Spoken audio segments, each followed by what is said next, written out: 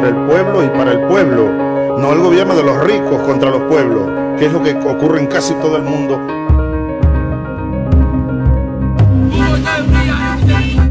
Pasamos hambre.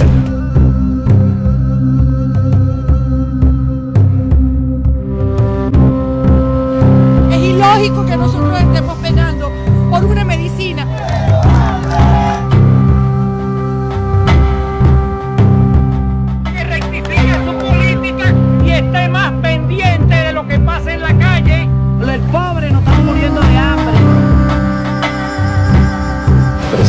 lo que está haciendo padecer, pasar trabajo a nuestro pueblo en el campo del abastecimiento es la imposición de una guerra económica y de un capitalismo Difícilmente tú conseguirás un país en este mundo donde haya más democracia que en Venezuela. Para marchar en este país se necesita pedir un permiso.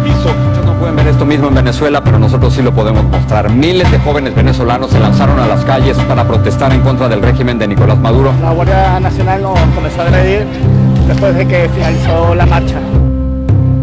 Lo que hicieron fue destruir el país, pues.